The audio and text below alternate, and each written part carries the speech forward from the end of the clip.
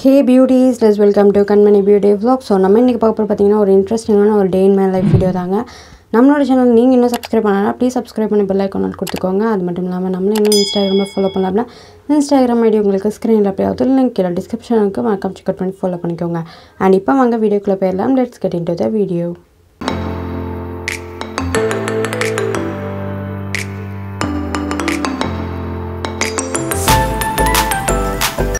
இன்றைக்கி பார்த்தீங்கன்னா வந்துட்டு தேர்ஸ்டே தேர்ஸ்டே தான் நான் இந்த வ்ளாக் வந்துட்டு எடுக்கிறேன். ஸோ இது வந்து பார்த்திங்கன்னா எங்கள் வீட்டில் மார்னிங் பிரேக்ஃபாஸ்ட் வந்து அப்பா வந்து பண்ணியிருந்தாங்க. அப்போத்துக்கு வந்து பார்த்திங்கன்னா பாலும் பழமும் ரொம்ப டேஸ்ட்டாக இருக்கும். யாருக்கெல்லாம் இந்த காம்பினேஷன் பிடிக்கும் அப்படின்னு சொல்லிட்டு கீழே கமெண்ட் பண்ணுங்கள் பார்த்து தெரிஞ்சுக்கிறேன். அண்ட் ஜவ்வரிசியும் பாலுமே ரொம்ப நல்லாயிருக்கும். பட் பாலும் பழம்ங்கிறது ரொம்ப சூப்பராக இருக்கும். தேங்காய் பாலில் பண்ணுறது அண்ட் யாருக்கெல்லாம் பிடிக்கும் அப்படின்னு சொல்லிட்டு கீழே கமெண்ட் பண்ணுங்கள் பார்த்து தெரிஞ்சுக்கிறேன். இதுதான் அன்னைக்குள்ள எனக்கு பிரேக்ஃபாஸ்ட்டாக இருந்துச்சு. ஸோ அதை நான் அப்படியே சாப்பிட்டுட்டு அடுத்தடுத்த ரொட்டீன் என்னென்னு பார்த்துடலாம். Hours later. அண்ட் இப்போ கரெக்டாக டைம் என்னென்னு பார்த்தீங்கன்னா லெவன் டென் லெவன் டென் ஆகணும் அதுக்கப்புறமாவே எனக்கு கொஞ்சம் ஏதாவது வந்துட்டு சாப்பிட்லாம் பழம் அந்த மாதிரி ஏதாவது சாப்பிட்லாம் அப்படின்னு சொல்லிட்டு தான் எனக்கு தோணுச்சு. ஏன்னா ரெண்டு அப்பம் தான் சாப்பிட்டேன். ஸோ அதனால் பழம் ஏதாவது சாப்பிட்லாமே அப்படின்னு தோணும் போது தான் சரி ஓகே நம்ம இந்த கிட்னி பழம் சாப்பிட்லாம் அப்படின்னு சொல்லிட்டு தான் நான் எடுத்தேன். அது எடுக்கும் போதே பார்த்திங்கன்னா அது பழம் டைப்பில் இல்லை. பிகாஸ் வந்துட்டு பார்த்திங்கன்னா நல்லா பழுத்து அது கொஞ்சம் ஜூஸ் டைப்புக்கு மாறிடுச்சு. சரி ஓகே நான் பேசாமல் ஜூஸே போட்டுடலாம் அப்படின்னு சொல்லிட்டு ஜூஸ் போட ஆரம்பிச்சிட்டேன். ஸோ அதை தான் அப்படியே உங்களுக்கு வந்துட்டு கொஞ்சம் ஷேர் பண்ணியிருக்கிறேன் அண்ட் நம்மளோட சேனல் நீங்கள் இன்னும் சப்ஸ்கிரைப் பண்ணணும்னா ப்ளீஸ் சப்ஸ்கிரைப் பண்ணி பெல் ஐக்கான் கொடுத்துக்கோங்க. அண்ட் அது மட்டும் இல்லாமல் நம்மளும் இன்னும் இன்ஸ்டாகிராமில் ஃபாலோ பண்ணல அப்படின்னா இன்ஸ்டாகிராம் ஐடி உங்களுக்கு ஸ்க்ரீனில் எப்படியாவது லிங்க் டிஸ்கிரிப்ஷனுக்கு மறக்காம செக் பண்ணி ஃபாலோ பண்ணிக்கோங்க. இந்த கிளினிக் பழம் பார்த்தீங்கன்னா நீங்கள் போன vlogலேயே வந்துட்டு பார்த்துருப்பீங்க. அந்த vlog இன்னும் செக் அவுட் பண்ணி பார்க்கலாம். லிங்க் உங்களுக்கு ஐகார்ட்ஸில் கொடுக்குறேன். மறக்காமல் செக் அவுட் பண்ணி பாருங்கள் அண்ட் பழசு எல்லாத்தையும் எடுத்தாச்சு. அது எல்லாமே நம்ம ஜூஸ் மிக்ஸி ஜாரில் வந்து ஆட் பண்ணிட்டேன். அதில் பார்த்திங்கன்னா நம்ம தண்ணி ஊற்றணும் அவசியமே கிடையாது. சுகருமே நான் வந்து மைல்டாக தான் ஆட் பண்ணிக்கிட்டேன். ரொம்ப நான் வந்துட்டு சுகர் வந்து ஆட் பண்ணல.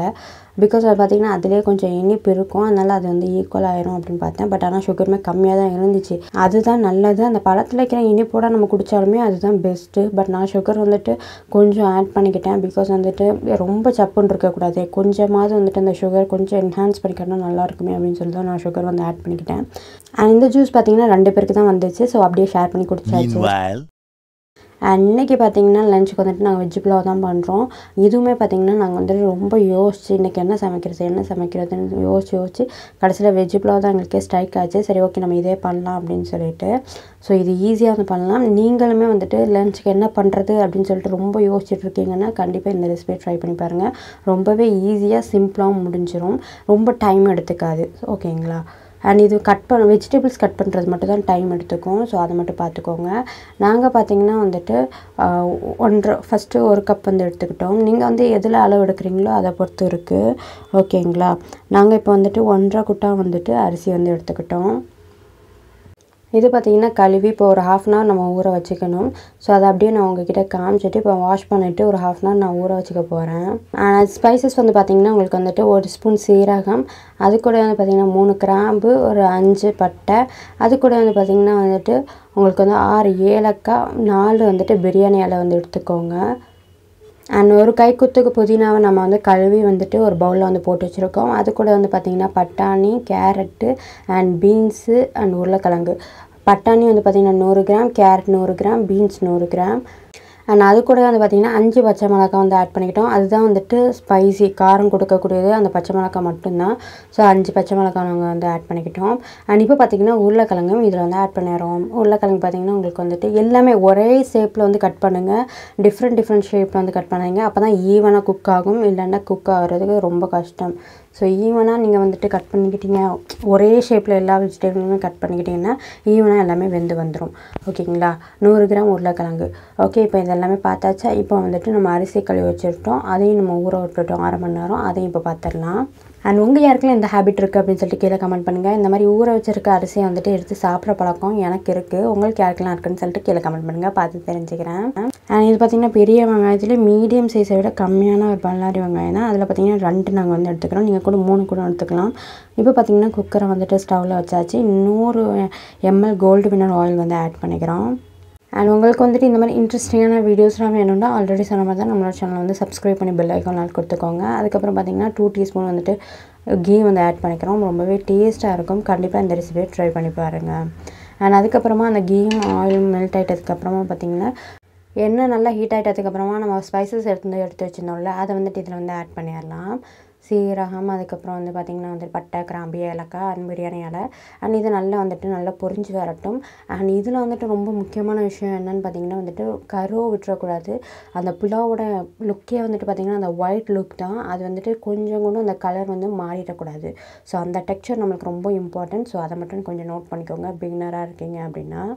கண்டிப்பாக நீங்களே சமைக்கும் போது என்னடா இன்றைக்கி சமைக்கிறது என்ன சமைக்கிறது அப்படின்னு ரொம்ப டென்ஷன் ஆகிட்டு யோசிச்சுட்டு இருப்பீங்க. அந்த டைமில் இந்த மாதிரி எல்லா வெஜிடேபிளும் நம்ம வீட்டில் இருக்கும்போது பார்த்திங்கன்னா டக்குன்னு நம்ம வந்துட்டு புலாவ் வந்து பண்ணிடலாம் நீங்களும் இந்த புலாவ் வந்து ட்ரை பண்ணி பாருங்கள் இப்போ பார்த்தீங்கன்னா கட் பண்ணி வச்சிருந்த ஆனியனை இதில் வந்து ஆட் பண்ணியாச்சு. அண்ட் அது பார்த்திங்கன்னா நல்லா வந்து வதங்கி வரட்டும். அந்த வெங்காயம் பார்த்திங்கன்னா அந்த கண்ணாடி பதத்துக்கு வரணும்னு சொல்லுவாங்களே அந்த அளவுக்கு வந்தால் போதும். அண்ட் அதுக்கப்புறம் நல்லா வந்து மிக்ஸ் பண்ணி விட்டுக்கோங்க. அண்ட் நல்லா வதங்கிட்டதுக்கப்புறம் பார்த்திங்கன்னா நம்ம அண்ட் பச்சை மிளகா வந்து ஆட் பண்ணிக்கலாம். பச்சை மிளகா பார்த்திங்கன்னா நம்ம இப்போ கீரை வந்து ஆட் பண்ணிக்கிறோம் ஓகேங்களா அது நல்லா வந்து மிக்ஸ் பண்ணி விட்டுக்கோங்க நீங்கள் கீரை ஆட் பண்ணால் தான் கொஞ்சம் ஸ்பைசஸ் வந்து கிடைக்கிற மாதிரி இருக்கும்.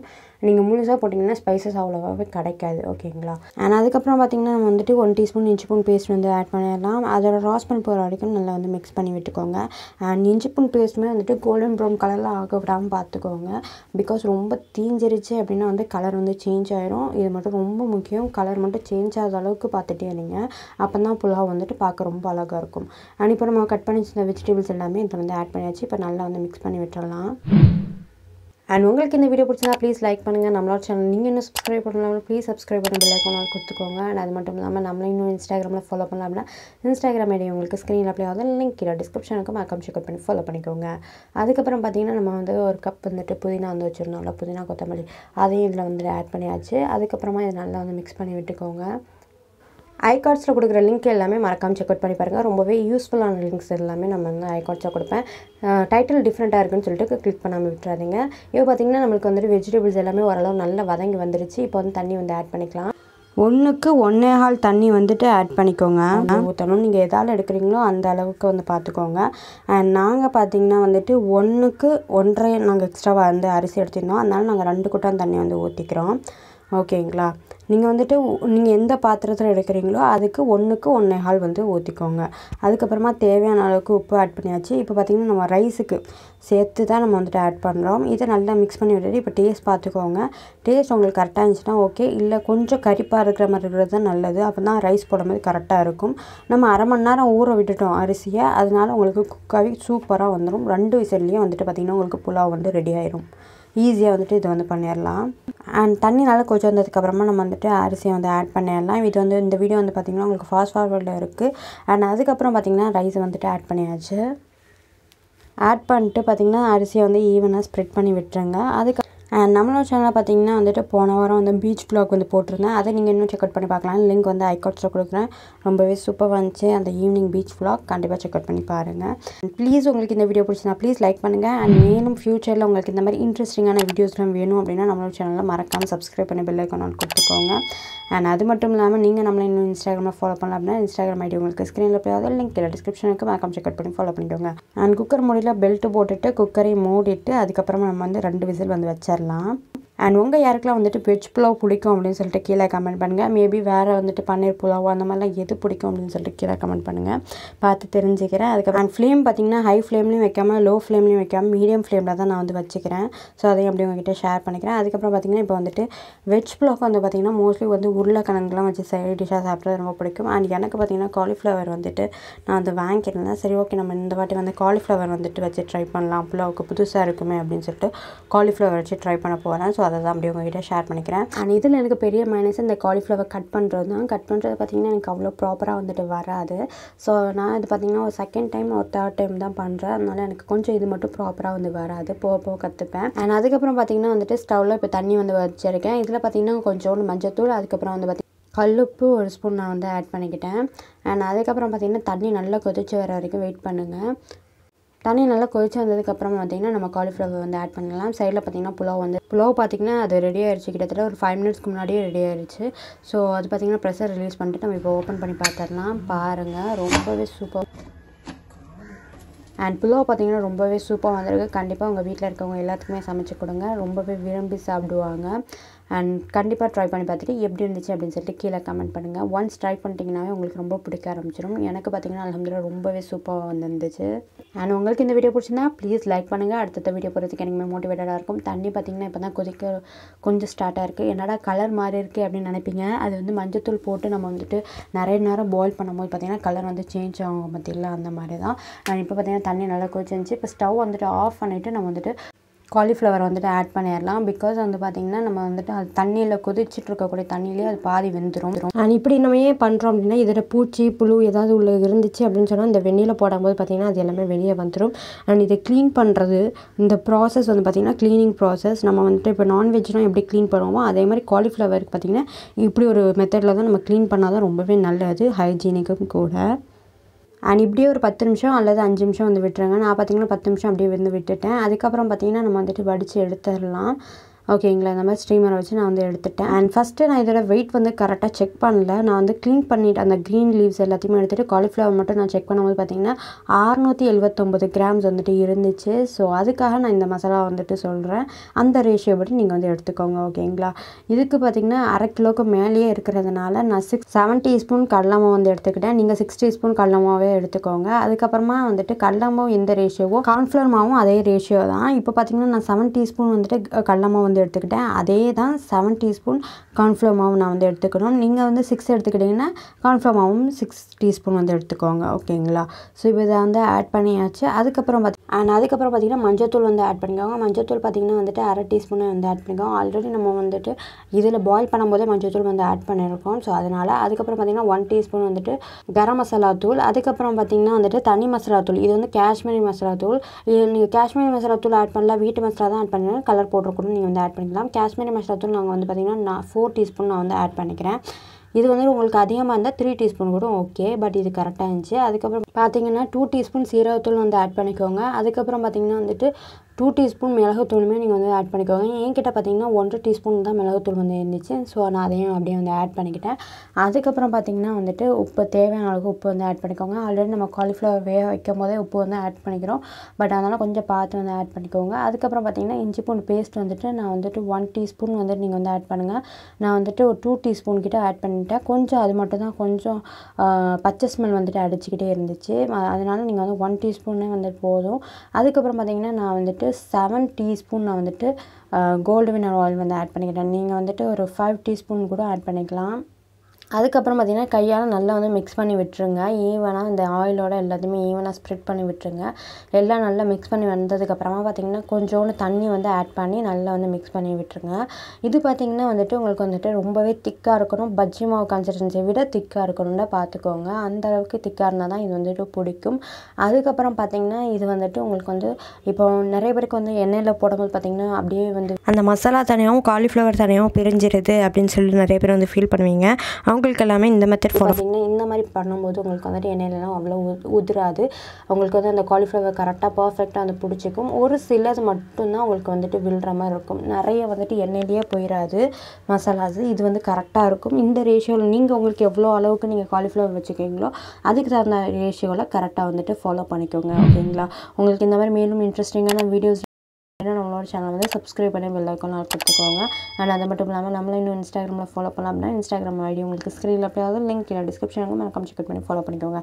என்ன ஹீட் ஆகிற வரைக்கும் தான் நான் வந்துட்டு அந்த காலிஃப்ளவர் வந்துட்டு ஊற விட போகிறேன் சட்டியை ஸ்டவ்வில் ஏற்றி அதுக்கப்புறமா எண்ணெய் ஊற்றி எண்ணெய் நல்லா ஹீட் ஆகிட்டதுக்கப்புறமா நீங்கள் வந்துட்டு எண்ணெய் ஹீட் ஆகிட்டா அப்படின்னு சொல்லி செக் பண்ணுறது கருவேப்பிலையாக வந்து ஆட் பண்ணிக்கிறேன். கருவேப்பிலை நல்லா புரிஞ்சு வந்ததுக்கப்புறம் பார்த்தீங்கன்னா நீங்கள் வந்து காலிஃப்ளவர் பார்த்தீங்கன்னா ஒன்று ஒன்றா வந்து ஆட் பண்ணிடலாம். இந்த மாதிரி நீங்கள் வந்து ஆட் பண்ணும்போது பார்த்தீங்கன்னா உங்களுக்கு வந்துட்டு பர்ஃபெக்டாக அந்த காலிஃப்ளவர் வந்து புரிஞ்சு வரும். ஸோ அதனால் நீங்கள் கரெக்டாக இந்த மாதிரி மெஷ் ரேஷியோவில் வந்துட்டு ஃபாலோ பண்ணி பாருங்கள் அண்ட் கருவேப்பிலை வந்துட்டு ஆப்ஷனல் தான். உங்களுக்கு பிடிச்சிருந்தா நீங்கள் வந்து ஆட் பண்ணுங்கள் இல்லாண்டா வேண்டாம். அண்ட் இது பார்க்குறதுக்கு அப்படியே வந்துட்டு பார்த்திங்கன்னா நான்வெஜ்ஜில் பார்க்கும்போது பார்த்திங்கன்னா மூளை பொறிச்ச மாதிரியே இருக்கும். ரொம்ப ரொம்ப டேஸ்டியாக இருந்துச்சு. கண்டிப்பாக ட்ரை பண்ணி பாருங்கள் ஆனால் இதில் வந்து அதில் ஒரு சில பார்த்திங்கன்னா அந்த மாவு வந்து தண்ணியாக வைப்பாங்க. ஒரு சில பேர் ரொம்ப திக்காக வைப்பாங்க. ஒரு சில பேர் நடுத்தரமாக வந்து வைப்பாங்க. நான் வந்துட்டு மீடியமாக தாங்க வச்சுருந்தேன். அண்ட் இங்கே யூஸ் பண்ணுறதை பொறுத்து ஆனால் இந்த ஃபார்மேட்டில் ட்ரை பண்ணி பாருங்கள் இவன் நீங்கள் பிடிச்சி நான் எடுக்கும்போது பார்த்திங்கன்னா அந்த மசாலா எதுவுமே வந்துட்டு உருந்திருக்காது நீங்கள் அதையும் நீங்கள் நோட் பண்ணியிருந்துருக்கலாம் அண்ட் இதுக்கு பார்த்தீங்கன்னா இப்போ நம்ம சாப்பிட்ற டைம் கரெக்டாக கிட்டத்தட்ட டைம் வந்து பார்த்திங்கன்னா டூ தேர்ட்டி ஆயிடுச்சு இப்போ நம்ம சாப்பிட ஆரம்பிச்சிடலாம்.